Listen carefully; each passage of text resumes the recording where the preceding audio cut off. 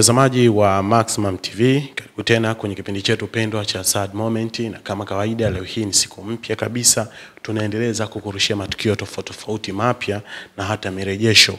Na leo hii tuko na ndugu yangu hapa. Huyu jamaa bwana, nadhani mnamkumbuka, mke wake ni yule mwenye tatizo la kidonda kikubwa mkononi. Kwa hiyo um, ja, baada ya kutazama ili- ilisemekana kwamba ana kansa ya mfupa na ndio imesababisha paka ana hali ile pale. So leo hii amekuja kwa ajili ya kutupa mrejesho wa matukio yote yanaendelea huko hospitalini, na kama ambavyo unatazama mke wake yuko hospitalini na hali yake ndio hiyo hapo, na hata ukiangalia mkono wake vizuri kabisa unaona kuna bandage kubwa sana imefungwa pale, kwa maana halisi ni kwamba kidonda chake kimekuwa ukubwa wa saizi ya kichwa changu, yani uvimbe ule mkononi uliopo pale umekuwa mkubwa wa saizi ya kichwa changu na unakuwa kila siku, kwa sababu mpaka sasa taarifa ambazo zipo za awali ambazo nimepokea kutokea kwa ndugu yangu kwenye simu, amesema kwamba huduma bado haijafanyika zaidi ya kuoshewa kidonda tu, ndio hicho ambacho kinafanyika, na hiyo ni kwa sababu wanahitaji kiwango cha damu kifikie japo kumi na mbili ndio aweze kutolewa kinyama pale, aende akafanyiwe vipimo ili wajue tatizo ni nini na waweze kumfanyia matibabu, na kwa sasa hivi damu yake iko nane, si ndio? eh? Kwa kiwango kidogo sana, kwa hiyo hawawezi kufanya huduma yoyote. So kinachohitaji- kinachohitajika ni damu baada ya kutolewa yani baada ya kuwekewa damu ndo wapate kiwango kile ambacho sahihi cha kuweza kumfanyia huduma ya kutoa kinyama, wapeleke maabara wafanye vipimo, wakijua kwamba ni kansa 100% ndio wamfanyie huduma. Kama kukata mkono au kuna njia nyingineyo, wao ndo wanafahamu. So leo hii tuko naye hapa brother, vipi? Safi, kwema. Kwema, pole bwana, Asante, namshukuru. Pole sana kwa kuuguza. Asante. Labda tupe taarifa na maendeleo ya mke wako zatoka siku zile tulivyokuacha pale Mimosha, mkono wake hospitalini, tulivyoonyesha pia watazamaji, nini kiliendelea baada ya hapo? Kweli nipende kumshukuru Mungu na nipende kuwashukuru wenzangu ambao wameweza kutuchangia, ambao wameweza kutuombea, na imani kwa mke wangu, maombi ndio yanatumika, kwa sababu hali aliyokuwa nayo baada ya kuachana pale, tulienda Mwananyamala tukapata ile rufaa ya kwenda Muhimbili, lakini baada ya kuja kufika Muhimbili, tulivyofika kwa hali ambayo alikuwa nayo, tuseme tu ni kwa uwezo wa Mungu, kwa huduma ambayo tumeweza kuipata, maana ilisemekana yani damu ilikuwa imeisha ilikuwa imebaki nne, ndio alikuwa amebaki nayo nne. Kiwango cha damu ilikuwa ni nne na mapigo yake ya moyo yalikuwa kasi. Eh, mm. Sasa baada ya hapo hivi ndio ikasemekana kwamba itakiwa ongezee damu kwanza, akafanyiwa vipimo vyote vya mwili, kafanyiwa vipimo vyote, na baada ya hapo tukaruhusiwa kwenda MOI ambao ni odi la mifupa inayohusiana na mifupa. Baada ya kuja kufika kule, tumefika kule akapewa kitanda kalala, na ikasemekana kwamba itakiwa ongezewe damu. Baada ya kuongezewa damu, kama itafikia kiwango, ndio kiweze kiota kile kinyama kiweze kupelekwa maabara, na kulingana na hali ya hospitali yetu, hospitalini damu ni ya shida, na bahati nzuri, kulingana na maombi ya Watanzania wenzangu na watu wengi ambao wameweza kutuombea, kweli damu ilipatikana kwa haraka, ilipatikana kama chupa mbili.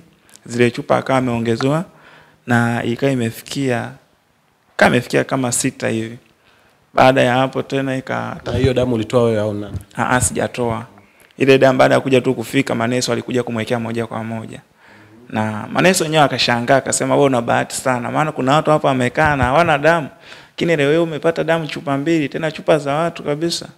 Kweli nikaamini kwamba kweli Mungu yuko pamoja na sisi, na baada ya kuja tena kupima kiwango bado hakijatosha, ikaonekana kwamba itakiwa tena ongezewe damu na tukaendelea kusubiri kwamba labda damu itapatikana, lakini damu inaenda kuwa ya shida. Nikafanya juhudi kwamba damu iweze kupatikana, lakini damu ikawa ni ya shida. Nikaamua nitoe mimi mwenyewe damu eh, kwa ajili ya kumwongezea mke wangu. Nimetoa chupa moja eh, ile chupa moja ya damu ile eh, Na manake wanaangalia nini ili kuweza kumchangia mtu damu? Wanaangalia group za damu au yoyote tu mwenye damu anatoa. Nilivyoenda kwa daktari ambaye ni nesi mwenyewe, nilivyoenda kumwambia, kwanza akaniambia kwamba unapokuwa unamuongezea mtu damu, ile damu unaweza ukamuongezea mtu, unaweza ukatoa, lakini isiwe group la damu ambayo inafanana na yule mgonjwa wako. Kinachofanyika pale, unaweza ukatoa damu, ukishatoa damu itachukuliwa na itachukuliwa mtu mwingine labda ambaye ame, ametolewa kwa ajili ya kumwekea, ambaye ni grupu ambayo inafanana na mke wako. Ya kwako inaweza ikaenda kusaidia kule, ikaenda ukava ile sehemu ambako imeweza kutoka. Eh, Kwa maana yake lengo ni- nililogundua ni kwamba pale mnakuwa mmebadilishana damu. ehe, ni Damu ipo Damu. lakini wana, damu ipo lakini wanataka atoe mtu waiweke pale alafu wenyewe atoe saizi ile ile wampe mtu. ndio hivyo nilivyoona Eh, ndio hivyo nilivyoona. Maana hata siku hiyo tulikuwa tunatoa watu wengi sana. Siku hiyo watu walikuwa ni wengi ambao tulikuwa tunatoa.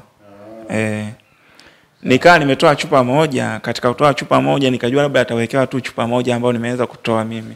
Lakini nilitoa asubuhi kuja kufika jioni, dokta akaja, alivyokuja akamwekea mimi mwenyewe nipo. Alivyomwekea ile chupa moja nikajua kwamba labda ni chupa moja ambayo atawekewa. Lakini cha ajabu imekuja kufika usiku, kanipigia simu kwamba nimeongezewa tena chupa nyingine ya damu. Eh, kawekewa zikawa chupa nne. Eh, zilipowekewa zile chupa nne kwenda kupima ikasemekana kwamba ba, damu bado kwa ajili ya kuweza kukata kile kinyama ikawa ni nane point moja.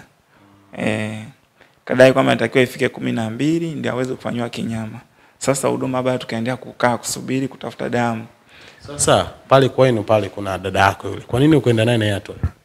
Dada yangu yupo nyumbani na kweli dada yangu yupo nyumbani na baada ya kuja kuona mizunguko kama hiyo alikuwa nyumbani na mpaka sasa hivi yuko nyumbani, maana mtoto pia anaumwa. Kipindi hicho mtoto alikuwa anaumwa, alikuwa anatapika. Wewe unamsemea dada yupi? Dada yangu Yupi huyo? Huyu dada yangu akinyerezi Kinyerezi Si yule mnene mnene? eh, Kwa nini yule sasa asije akatoa? ndio yuko nyumbani, yuko ana mtoto eh, ana mtoto, mtoto anaumwa. Mtoto mchanga. Huyo mtoto wangu mimi tulikuja naye eh, ndio tuseme namwangalia na ndiye aliyempeleka hospitalini kwa ajili ya kupata huduma, maana alikuja kunipigia simu kwamba mtoto anaumwa anatapika.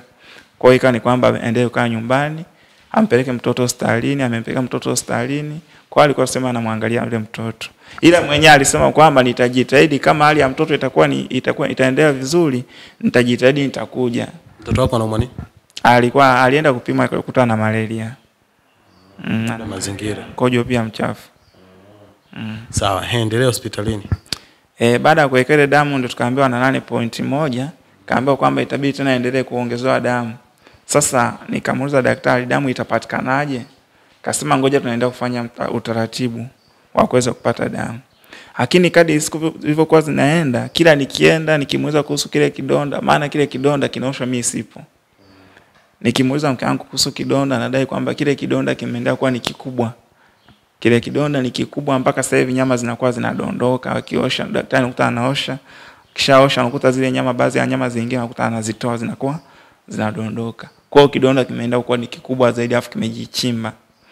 Naona Na kwa upande wa mkono kupanda huku juu kuna dalili zote ambazo unaona zinaendelea kuja e, kwenye mkono, maana siku tumefanyiwa vipimo, alipigwa x-ray ya kifua na mkono, ikaonekana kwenye mkono hapo, ile x-ray mwenyewe nilikuja kuiona kwa, kwa macho yangu. Ile x-ray ya mkono ikawa inaonyesha kwamba kwenye ile uvimbe pale, ina maana mfupa hamna. Ule mfupa mkubwa, maana sikuna mifupa miwili, ina maana ule mfupa sasa hivi hamna, haupo kabisa ule mfupa, mshaliwa na kiasi. meshaliwa wote, meshaliwa. E, kwenye kifua nilikuja kuona daktari akaniambia kwamba kifua chake kina chembe chembe ambazo ni ndogo sana ambazo zinaweza zikatibika, zina shida. za kansa. Ah, alisema tu kuna chembe chembe, sijajua kwamba ni chembe chembe za nini, Sasa ungemuuliza ila alidai kwamba ni chembe chembe. Hata hata mkono mwenyewe hajatuambia kwamba ni kansa, ila alituambia kwamba kutaka kujua kabisa tatizo ni nini, natakiwa tukate kinyama, tukipeleke maabara, shapeleka maabara, kipimwe, ndio tutagundua kwamba tatizo ni nini. No. sasa, na wewe ungesisitiza basi, jamani, mkono unazidi kukua na ile tatizo linazidi kuwa kubwa, tunafanyaje tuweze kufanya haraka haraka? najitahidi sana kila anapoenda hospitalini skai nazunguka nazunguka naenda kuambia madaktari lakini wanakuambia kwamba siku ikifika atafanyiwa tu na hususan tunatafuta damu sasa nilivyoona vile na daktari mwenyewe kaniambia kwamba sto hamna damu Na mtu mmoja anaruhusiwa kutoa damu size gani? Chupa moja. E, maana mi niwaambia nitoe chupa mbili lakini walikataa. Kasema mtu mmoja anatakiwa atoe chupa moja ya damu mm. Size kama lita moja. E, ni lita moja hiyo, kama lita moja hiyo. E, kama lita moja au nusu lita. E, sasa nikajitahidi kupata damu, lakini damu ikashindikana. Nikajitahidi kutafuta watu nje kwa ajili ya kuweza kuwatafuta kuwapeleka kule kwa ajili ya kutoa damu kwa haraka, maana ile tatizo linaendelea kuwa kubwa, na isitoshe mpaka sasa hivi yawezekana hata matatizo yanaendelea kupanda, maana mpaka sasa hivi anapokuwa ana- akivuta tu ile harufu, yani akivuta tu ile harufu nzito, hususan ile ya kidonda chake kile, anasema kwamba kifua kinakuwa ni kizito, anakuwa anakoa kwa shida. Eh, anakuwa anakoa kwa shida. Kila akivuta tu yani harufu yote nzito anakuwa anakoa kwa shida. Sasa nimejitahidi nimepata watu kwa nje e, nika ikawa kama vile kuwanunua ili wakatoe damu. Kwao nimewapata ile jana siku ya Jumamosi, wakaniambia kwamba utatupa elfu thelathini thelathini, maana walikuwa wanadai shilingi elfu sitini. Kajitahidi kuongea nao pale, wakasema elfu thelathini thelathini, twende tukakutolee chupa mbili Hao watu wa nje waliokutia hapo hapo Muhimbili, nje tu hapo Muhimbili. Wapo E, wapo wanatoa damu saa yote e, wapo wenyewe, wapo special kabisa, yani wale watu niliwaambia kwa ajili ya kutoa damu. E, niliwaambia watu ambao nimeshafanya nao rafiki pale, wakasema wapo amba, watu ambao wanafanyaga hiyo kazi hapa, yaani wenyewe kazi yao ni hiyo, Kutoa damu. kutoa damu. Wanatoa kwa shilingi elfu sitini chupa moja. Baada ya kuongea nao pale hivi, wakaniambia thelathini thelathini, naona twende tukakutolea. Hiyo Jumamosi nilivyoenda kule, nikaambiwa kwamba Jumamosi hamna huduma ya kutoa damu, kwa mpaka hiyo Jumatatu Walikopa watu wangapi? wawili Eh, wawili kulingana na hali ya uchumi wawili. Kwa hiyo Jumatatu ndio nategemea niwapeleke wale watu kwa ajili ya kwenda kutoa damu. Na bado una mawasiliano nao? Eh, wapo na mawasiliano nao Eh, kwa ajili ya kwenda kutoa ile damu kumwongezea, lakini mpaka sasa hivi hali ya mgonjwa kwa kweli anapata shida Eh, ila mchana hii mchana hii ambao tumeongea asubuhi, nakuja anakuja mida saa nne, alikuja kunipigia tena simu ye mwenyewe mgonjwa, kaniambia sasa hivi dokta ameniletea risiti ya kwenda kulipia mm, kwenda kulipia, kaniambia kwamba muda wowote unaweza ukafanyiwa ile huduma ya kukatwa kinyama. Kwa hiyo mwambie mmeo aenda akalipie. Na ile mchana nilipopeleka chakula kweli nimeenda kulipa, nimeshalipa tayari gharama za kwenda kufanywa ile kinyama. shalipa Malipo yake nimeambiwa laki tano. Maana ile ni operation. kwao, nimelipa laki tano. Nikajaribu kumuuliza ile keshia nikamwambia sasa hii laki tano ndio inahusiana na baada ya kuja kugundua tatizo inahusiana na na hilo tatizo asema hamna. Hii hapa ni kwa ajili ya operation na akishafanywa ile operation ya kukata kinyama kuna dawa ambazo atapewa kwa ajili ya kutumia kabla una, kabla ile nani majibu hayajaja. Kwao bado ni changamoto kubwa ambayo tuko nayo na isitoshe mazingira ambayo tunakaa kule ni mazingira ya kila kitu gharama, kila kitu gharama. Kwa mpaka sasa hivi kweli nawashukuru wa ndugu zangu kila saa, kila wakati wananijulia hali, wananipigia simu. Ndugu zako kule kwenu? Ah ah. Wanaonichangia hawa eh. Watu wa nje kila saa wako na mimi wananipigia simu kutaka kujua hali ya Esther. Yaani muda wowote iwe usiku iwe mchana kweli hawajanitupa. Na hata watu wa humu Tanzania kweli wamekuwa nami kila saa kila muda wananijulia wanataka wajue hali ya Esther inaendeleaje. Na ndio maana nimesema ngoja nikatoe mrejesho kwa ajili ya mgonjwa anaendeleaje. Kwa mpaka sasa bado tuko hospitalini, hali bado ni changamoto, hali bado ni tete. Sasa hivi nimetoka kulipia gharama hizo za operation na mpaka sasa hivi kwa kweli hatujajua kwamba tutafikia wapi. Kwa namna ambavyo nimetazama video zile, kidonda mbona kimekuwa kikubwa sana, yani kipo kama kichwa changu sasa. Kidonda ni kikubwa, yani kikubwa. Maana yake hata yeye mwenyewe unapokuwa unafika pale hospitalini, yeye mwenyewe ndiye anakiona, anakwambia sasa hivi ukikiona kile kidonda unaweza hata usile nyama. Yeye mwenyewe anasema. Anasema sasa hivi kidonda yani kimekuwa ni kikubwa alafu kimejichimba. Naona? Nataka nijue kinafata mkono huko, Ah ah, hakifati mkono, chenyewe kimechukua tu ile sehemu. Akiendelee kukua, Akiendelea kimechukua tu ile sehemu afu kina kinachimba. alafu nakwenda juu. E, nakwenda juu. Sasa hivi unakuta anajikuna, anajikuna, anasema unakuta muda fulani unakuta anajikuna kweli. Unakuta anajikuna. Kwa pale amekunywa pia dawa za maumivu. Hamna dawa. Sasa ile hali anawezaje? Yaani hamna dawa. Hamna dawa ambazo tumepewa. Zaidi sana ni kusafishwa na kila siku gharama zinakuja. Kila siku gharama zinakuja. Ila hamna huduma tuliyoipata. Hali ya pale ni shida, hali ya pale ni ngumu. Unaona? Sasa hivi anapata shida sana kwa kupumua, anapata shida sana. Maana kile kidonda kisiposafisha siku moja, hata wewe mwenyewe unayefika pale unaweza usivumilie ila ile ila harufu. Ni harufu kali sana inatoka. Kwa hiyo hata yeye mwenyewe nahisi inakuwa inamwathiri anapokuwa anaivuta. Ndio maana anasema kwamba kila akiivuta unakuta anakoa sana. Kifua unakuta kinabana. Yaani mimi ninavyomtazama nani Esther anaitwa eh?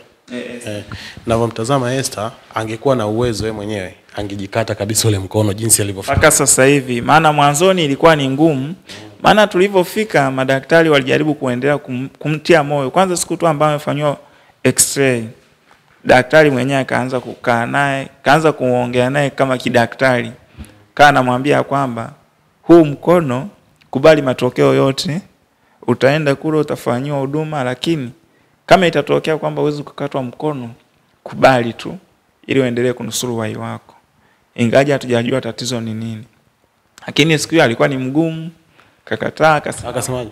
yeye mwenyewe alikataa, akasema kwamba anahitaji mimi niweze kufanyiwa hata operation ikatwa hata hii nyama.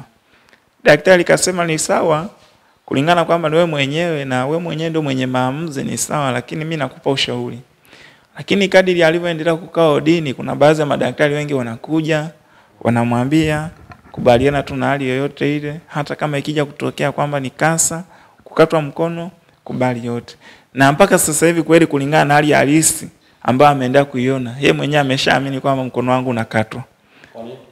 Anaamini hivyo yeye mwenyewe, Walijuaje? Alisema. anasema kabisa, ananiambia ananiambia mimi hii hali hii hali nilionayo sasa hivi sidhani kwamba huu mkono kuna kuweza kutibu kwa njia nyingine kulingana na kidonda ninavyokiona. Mi najua tu mkono ni wa kukatwa. Mm, kuna muda mwingine unakuta anakaa kabisa anasema huu mkono wangu ndio unaenda hivyo. nakuta anaongea mwenyewe unakuta anasema, mikono mizuri. anasema kabisa mkono wangu ndio unaenda hivyo. Na hata kuna muda mwingine unaweza ukampelekea chakula anakuwa anauangalia. Anaamini kabisa kwamba amna huduma nyingine zaidi ya kunikata mkono. Mi naona kama anaogopa kukatwa, ila sio kwamba yani hali yake aliyokuwa nayo, naona bora kukatwa mkono, ila je, nakatwaje katwaje? Ndio hicho kinachomchanganya. mwanzoni ilikuwa ni ngumu, lakini sasa hivi kwa kweli, sasa hivi ninavyomuona ameshalizia kabisa, na mimi mwenyewe nijaribu kukaa naye kumjenga kisaikolojia. Sasa hivi yani yuko huru kabisa, hata aweze kufanya huduma yoyote ile, maana kulingana na ile hali inavyomtesa ameshakubali yote kwamba kama ni kukatwa iko tayari, ila mwanzoni kweli ilikuwa ni ngumu. Hivi kwa mfano akitokea amekatwa, mapenzi atapungua kweli kwako wewe? sidhani na sitegemei kwamba itakuja kutokea vile, kwa sababu mimi naamini ya kwamba katika maisha sisi ni binadamu, na isitoshe hata mimi mwenyewe ni binadamu ambaye muda wowote ni mgonjwa mtarajiwa, na ndio maana mimi nilisha hapa na hata kiapo changu cha ndoa kilisema kabisa, katika shida na raha nitakuwa na Esther. Kwa hiyo sitegemei kwamba ipo siku nitakuja kumsaliti, ipo siku nitakuja kumwacha. Mi naamini kutengana kwetu itakuwa ni Mungu mwenyewe kututenganisha. Kwa hiyo na ndio maana mimi na Esther hata ndoa yetu tumekuja kuifunga tukiwa katika matatizo. Matatizo gani? Alikuwa ameshaugua tayari. Hilo tatizo. Eh, alikuwa ameshaugua, tumeshazunguka na alikuwa na hali mbaya mbaya mbaya. Afadhali sasa. hivi. Ah, ah, sio sasa hivi, afadhali sasa hivi. Yaani maana yake ndio ilikuwa linaendelea kuwa kubwa, na nilikuwa nimeshazunguka naye asilimia mia Tena hapo kipindi hicho bado hujamuoa. eh? Na, na kipindi hicho ilikuwa bado hujamuoa, ushatembea kila sehemu kumtii. Eh, ah, ah. Na maana si tumekuja kuoana kabla ya kufunga ndoa, tumeona tu hivi hivi Mmeoana kabla kufunga ndoa. eh, tumekamilisha ndoa, yani sio kwamba tulifunga ndoa. Tulianza kuishi. Eh, tulianza kuishi na Bila ndoa la- mtoto. Tukapata mtoto kwa ndoa tumekuja kuifunga tukiwa na mtoto. Eh, kwa sitegemei kabisa kwamba naweza nikamwacha yule mwanamke, sitegemei. Eh, sitegemei, haitotokea. Mimi Esther nimeshamwambia kwamba wewe hata kama ukatwe mguu ukatwe mkono, mimi niko pamoja na wewe, na yeye mwenyewe anajua kabisa sitomwacha na hata mimi mwenyewe mpaka sasa hivi naamini ya kwamba nishakubali matokeo yote kwa mke wangu. Chochote kitatokea taongozana naye eh, haitotokea hiyo siku, niko naye pamoja. Mtazamaji, kama ambavyo umemsikia brother eh, ambaye ni mume wake halali kabisa Esther ameshaongea kuhusiana na hali ya mke wake. Kwa sasa hivi ninakwenda kumpigia sasa mgonjwa mwenyewe, tumsikie japo kidogo, tumsikilize kwa upande wake yeye anasemaje, labda na mpango gani na nini na ki- kipi ambacho kinaendelea pale hospitali ya Muhimbili juu yake yeye, kwa maana tumemsikia mume wake, sasa tunafuatia na yeye pia. Tumepiga namba yake hapa sasa hivi, nasubiria iite tu, ikishaita nadhani sasa hivi nasikika inaita. Ehe, tuzungumze naye tujue kwa upande wake anasemaje. Ila wakati huu, wakati nasubiria apokee, naombeni tufanye juu chini tuweze kumchangia kwa ajili ya kuendelea kupata matibabu. Halo, marhaba, mzima? Nashukuru Mungu. Mm, ongeza sauti kidogo. Nashukuru Mungu. Naumwa. Eh, na naona naona. Pole bwana, tumekumisi, natamani tukuone. Asante, nitakuja. Mm, na kuona maskini ya Mungu unavyocheka. Hauchelewagi kucheka bwana, ni mtu mwenye furaha sana. De. Hauchelewagi kucheka, ni mtu mwenye furaha sana. Si unajua ni ndugu yangu bwana. Nyumbani Singida wote kabisa, sehemu moja tunazikana sisi ndugu bwana. Mm. Nafurahi tu kunikumbuka. Tupo pamoja, hakuna ambaye anakusahau. Yani tunaweza tusipige simu, lakini si wakati wote tunapambana kuangalia namna gani wewe unaendelea na maisha yako yakoje, na ndio maana tunazungumza na mume wako huku, tunaangalia tufanyaje ili uendelee kufanyia huduma, si ndio eh? Pole bwana, pia kukaa hospitalini bwana inachosha, alafu inatia huruma sana. Yani mimi mwenyewe naombaga Mungu kila siku nisijege kwenda hospitalini yani. Bah, yaani ndo amenichosha. Eh, na- kila wakati, yani mpaka ambavyo zinauma. Ah, Kichwa kinagonga kila wakati. Da. Aisee. pole sana. Vipi unaendeleaje lakini? Asante, nashukuru Mungu. Huduma bado sijapata ila bado. Mm. bado kwa sababu eh, nilivyokuja damu haikuwepo, kwa hiyo ikabidi wafanye zoezi kwanza la kuniongeza damu. Mm.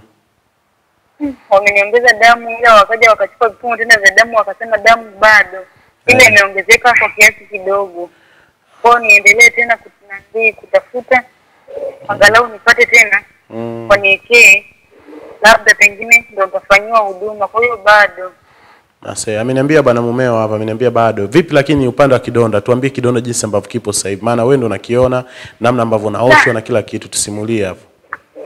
yaani hiki kidonda kinaendelea kuwa kikubwa, yaani kinazidi, alafu nyama zinaendelea kuoza yaani mpaka wakija kukisafisha wanakuta wanachukua tu nyama na mkasi ile wanaweka kwenye dasibini, yaani mpaka mm, nakuta yaani mpaka mwili wote unachemka ukiangalia hivi mpaka mm, jasho linatiririka. Pole bwana, najua. kubwa sana kidonda, yani kwa sababu si wanakifungua kila wakati, maana wanafunga leo Yaani ki, kilichopo ni kwamba, ngoja mimi nikwambie kitu kimoja.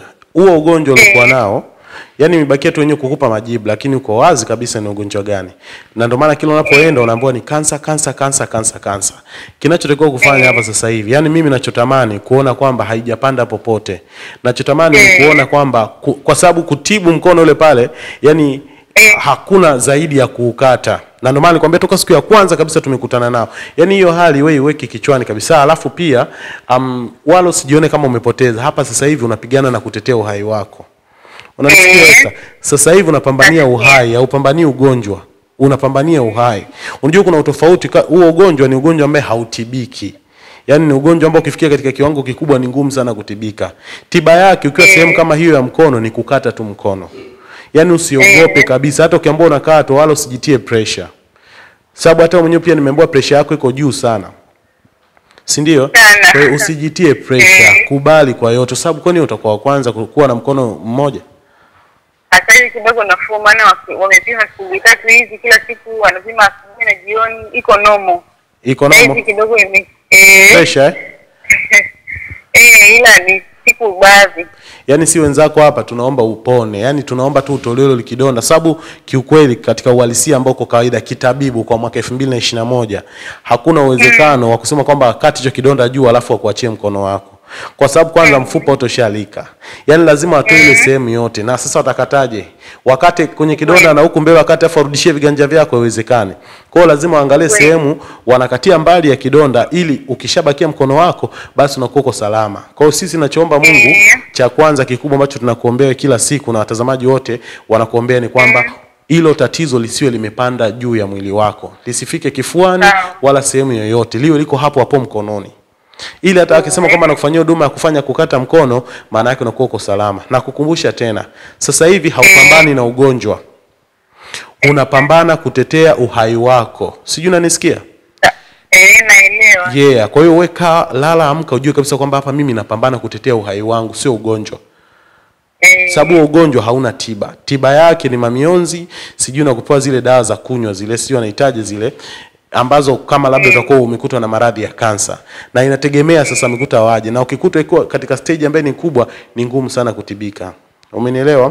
Watu wengi wanapoteza maisha kutokana na tatizo ambalo ni kwa kubwa kama hilo. Hasa saa ndio maana kwambia siku zile kwamba shukuru Mungu limetokea mkononi. Ingekuwa imetokea sehemu nyingine ya mwili, leo hii tusingekuwa tunaongea na wewe. Kabisa, maana kwa hali niliyokuwa naye nilivyofika hapa ilikuwa sio nzuri kabisa. Niliona, niliona na ndio maana hata siku zile mume wako alivyoambia kwamba sijui subiria siku gani uende sijui Amana, nikasema mm mm, huyo Amana mpaka itakapofika hali yake itakuwa inginewe. Ndio maana nikamwambia bwana fanya juu chini. yani, yani asante sana kwanza, nikwambie kwanza asante, maana ulitupa ushauri mzuri na tulifika tu wakati tuandikia rufaa tukafika na huduma tulipata kwa wakati. Aise, asante kwa ushauri. Asante. mi nafahamu mimi kwa sababu nimeshakuwa mzoefu kwenye mahospitali na hali yako, sababu ambavyo ulikuwa nayo, nilikuwa naona kabisa kwamba huyu tukisema eti akae siku tano nyumbani tutampoteza.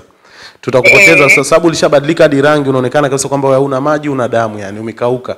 Nikaona kabisa kwamba unacheka tu, lakini kwa basi tu. Ndio maana nikamwambia bwana, cha juu chini, kakaa naye tukazungumza, tukasema kwamba unatakiwa uende hospitali ya Mwananyamala. Mwananyamala hawana jambo, yani wenyewe wakiangalia wanaona tatizo sio la kwetu, hawasubiri kupitia e. testia miili ya watu, wanakuchukua unaenda kule moja kwa moja, unapelekwa Muhimbili moja kwa moja. Sinaona saizi hizi uko Muhimbili, otherwise ungekuwa umechelewa na damu ilikuwa nne, ingekuwaje hapa? Damu yenyewe ishakuisha, ulikuwa hauna damu. Eh, E, kwa hiyo tunge tungekupoteza kwa kupungukiwa na damu nyingi sio tatizo tena. Kwa hiyo tunashukuru Mungu Kwa pia nako hilo nako tumejifunza na ndio maana mwanzoni um, hata tulivyokuja siku ya kwanza kabisa nisema msiende hospitali yoyote isipokuwa nendeni Mwananyamala. Sema mlivyokuja kubadilisha mipango yenu nasema Tabata B, Tabata B hakuna hapa Dar es Salaam. Kuna Tabata moja. Eh. Umeona? Kwa hiyo mko mlipokuwa mmeenda sikujua mlienda hospitali gani ambayo nyinyi mniita Tabata B mlisema? Tabata A. Tabata shule, mlienda Tabata shule, hakuna Tabata A wala B. Mlienda Tabata shule. Hiyo ni hospitali ya huku ndogo. Mlitakuwa muende kama. Amana au au nani au Mwananyamala, lakini nzuri zaidi Mwananyamala. Mwananyamala wako fasta, wana huduma zao nzuri, wakikusikiliza wanaona tatizo sio la kwetu, moja kwa moja mnapeleka Eh. Muhimbili. Lakini yote kwa yote tunafurahi kuona kwamba upo unaendelea vizuri. Na kwa sasa hivi huduma okay, gani ambazo unazipata sana sana? Sasa hivi huduma ninayohitaji sasa hivi ni huduma ya damu, maana waliniongeza damu chupa nne nilipokuja Mm. ilipanda kidogo ikawa nane pointi moja. Sasa hivi wamesema bado kuingia seta mpaka ifike kumi au kumi na mbili. Kwa bado nahitaji sana damu eh, bado nahitaji sana damu Ah. kutoa ili angalau eh, niongezee nifanyie huduma. Mm. Sawa bana, sisi tunakusikiliza hapa na bahati nzuri tuna rekodi moja kwa moja kupitia Maximum TV, watu wanakusikia hapa moja kwa moja. Nadhani um, kila kitu kitakuwa kipo sawa.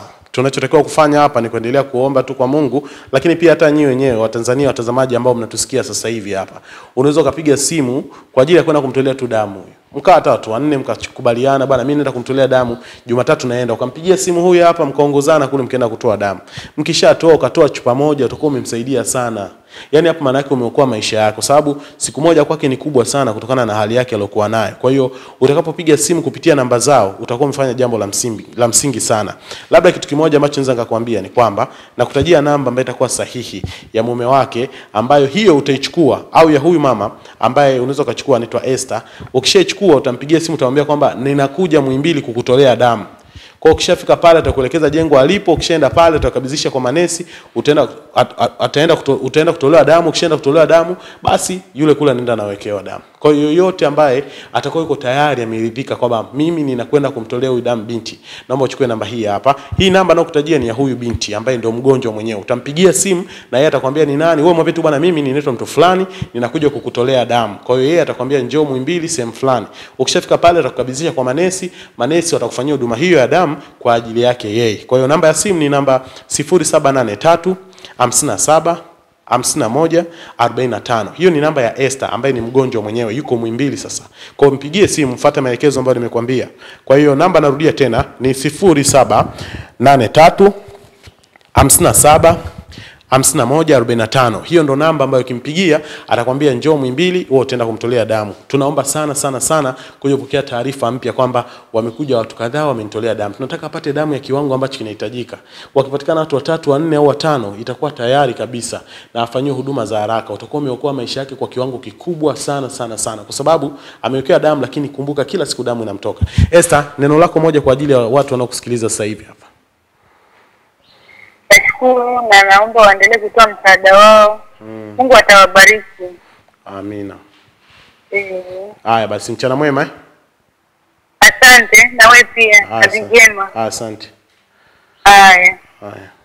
Mtazamaji, kama ambavyo tumekwambia, lengo letu kuu ni kusaidiana. Hakuna atakayetusaidia sisi. Nadhani toka tumeanza kurusha vipindi hajai kuja tajiri wa aina yeyote kutusaidia. Tunasaidiana maskini kwa maskini. Sijai kusikia mtu huyu mwenye nafasi yake wala mtu yule mwenye nafasi yake akapiga simu kusema kwamba bwana Zahiri, mimi nataka tumsaidie mtu fulani na fulani na fulani na waoji.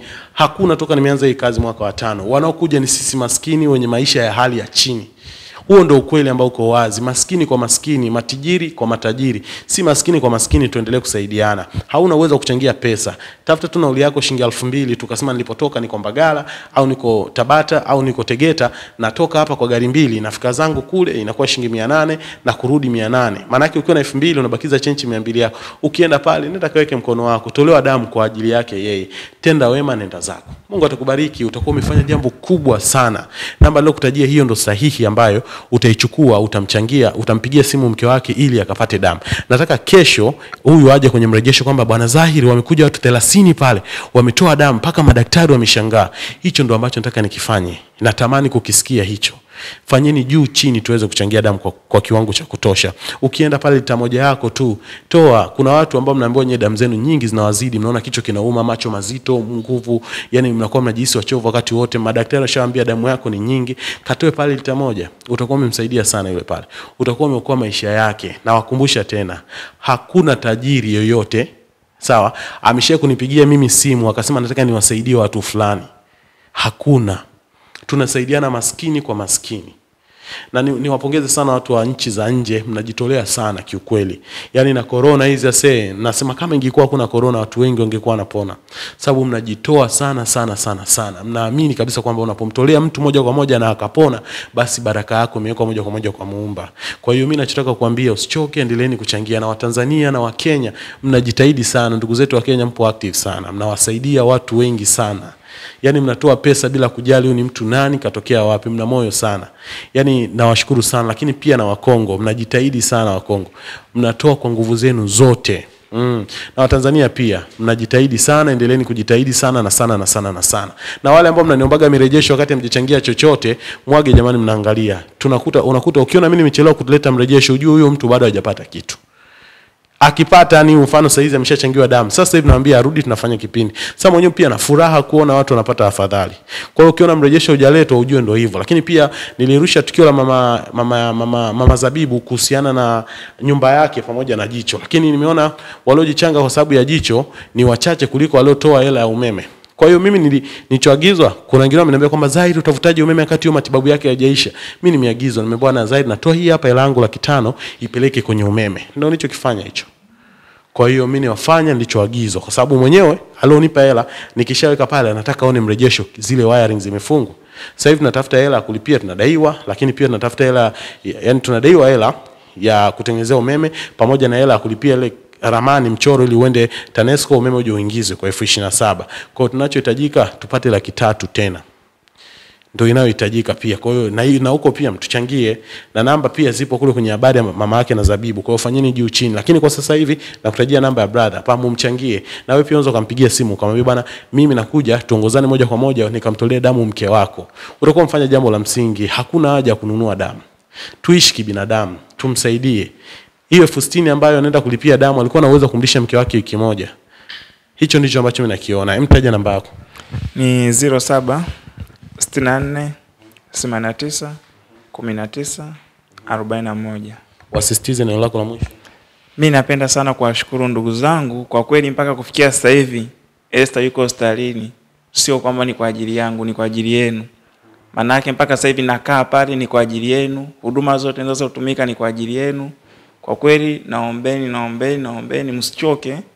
Naamini tuko kwenye safari ndefu, na nashukuru sana kwa kweli, wapendwa ambao mnaendelea kunitafuta, kunijulia hali. Mimi nipo naendelea kupambana hivyo hivyo usiku na mchana nitaendelea kuwapa taarifa, hata kama sijafika huku nitaendelea kuwapa taarifa, na nikipata muda pia nitakuja kwa Kazaili kwa ajili ya kutoa mrejesho. Kwa sasa hivi nimelipia hiyo hela ya operation laki tano kwa mpaka sasa hivi tunaendelea kusubiri tu kwamba endelee kufanywa ile operation na ile damu kuongezeka. Naombeni, naombeni, maana mazingira ambayo niko nayo pale ni mazingira magumu, wapendwa. Kila kitu ni gharama, kila kitu ni gharama. Sina mali yoyote pa kuweza kutegemea zaidi yenu. Kwa hiyo naombeni sana. Na labda turudi sasa, sisi wakati tuna mgonjwa wetu Ruben ambaye saizi ashafariki, tulikuwa tunawapa oda wale watu wa pale, wao wanampelekea mgonjwa chakula na tulikuwa nalipia kwa wiki elfu arobaini na tano eh? Yeah. Wewe hicho kitu najua ukikifanya mke wako atakuwa mpweke sana kutokuona wewe. Unajua anapenda kukuona kila siku eh. Ehe, lakini pale ambapo unaona labda kuna mambo yamekaa nyuma, unaweza ukalipia elfu arobaini na tano ukaambia bwana, kama kesho sitakuja utapeleka chakula. Siku fulani sipokuja utapeleka chakula. Kwa nini usi unafanya? Kwa sababu unakuta nalala pale pale na ndio maana kila siku asubuhi, mchana na jioni lazima niende pale. Unalala pale pale? Eh, pale pale. Mwimbili? Ah, hapo Mwimbili kuna sehemu moja wanalala watu tu ni kulala tu pale mnatandika boksi mnalala. Oh, nje. wewe unaishi Mwimbili Eh, nalala tu hapo hapo Mwimbili nje tu hapo. usiku Ya usiku eh. hadi asubuhi? Eh. Kweli? Masaa yote tuko pale. Eh, masaa yote tuko pale, yani pale mnalala pale, muda wote mnashinda pale. Na ndio maana naambia mazingira ya pale ni magumu lakini nimeshazoea kulingana na shida nilionayo. Mimi nikawa najua unatoka huku unaenda kule. tunalala pale pale, maana ndio maana nilimstopisha dada yangu nikamwambia, wewe tangu siku hiyo ameenda Muhimbili, maana aliniona ni gharama. Kwao, nikaona ya kwamba yeye aendelee tu kukaa nyumbani. Kwao. Tangu siku hiyo sijaenda nyumbani, navyo niona ndio maana yake niko huko huko, na maana ni kukaa pale pale nje, mnakaa pale nje, mnatandika boksi, mnalala, kuna kucha, asubuhi unachukua chakula, unaenda unapeleka chai, ukitoka huko unakaa tena pale nje, ikifika mida unaenda kule Kwa nini usifanye hilo wazo nilokuambia? E, labda kufanya tu kwamba kuweka oda, lakini masaa ishirini na nne unakuta niko pale. Waoda wapo, unaweza ukafanya hivyo ili mambo mengine yaendelee au? Mm, Ndio hivyo, Hivi namba za watu wa oda wale si unazo? Eh, tukuunganishe nao. wao wanapeleka kila siku, Wanapeleka masaa 24. Sisi Ruben tulikuwa namhudumia anahudumia asubuhi, mchana, jioni. kwa sababu kaka Zaidi, mimi mwenyewe niko pale, ndio maana sio ni sababu ya kusema kwamba wanapeleka Sawa, hamna shaka. mm, kwa sababu pale anaruhusiwa kuingia mtu mmoja wa chakula kwa masaa ishirini na nne. Ndio maana kuambia maisha yangu mimi sasa hivi yameshakuwa ya kule kule. Basi sawa, si tuliishia hapo. Mtazamaji, kama ambavyo umemsikia brother, ameshasema kumbe anaishi pale bwana Muhimbili, yani nje analala kwenye boksi, wakati huo mke wake anahudumiwa pale. Tumsaidie kwa ajili ya familia yake, ili mradi aweze kupata msaada. Namba ambayo ameitaja pia na yeye kwa mwanaume mwenzetu, unataka labda huyu akupeleke, usipate shida kumpigia mgonjwa, mpigie yeye, iko chini hapo inapita. Ukishampigia mwambie, nataka nikamtolee mke wako damu toka zako tunalita yako maskini ya Mungu. Damu zenyewe unatengeneza wewe, damu anakutengenezea Mungu, maskini ya Mungu. Ukitoa hupungukiwi kitu. Kwa unaenda pale kajitolee damu, ukishatengeneza ukishatoa damu, basi umemchangia yule dada. Ukishamchangia umefanya jambo kubwa sana. Mpigie simu brother aliyohitaji hapo. Na ndio hiyo ambayo iko chini katikati hapo. Ukatoe damu. Ukishatoa damu, basi mambo yote yakae sawa. Brother, nataka utanipa taarifa kiwango cha watu waliokuja ili tuje tufurahie kwa pamoja hapa, sawa eh? Haya, Sawa sawa. Mtazamaji, sisi tunaishia hapa. Namba taarifa zote mshaziweka hapo. Naomba mchukue mumcheki kwa kina zaidi ili tuweze kulikamilisha hili jambo. Kumbuka, hakuna tajiri anatusaidia sisi. Tunatusaidiana maskini kwa maskini. Mimi naitwa Zahir Hussein, niko na Fabian Kisaka. Endelea kuwa na sisi kupitia Maximum TV. Till next time.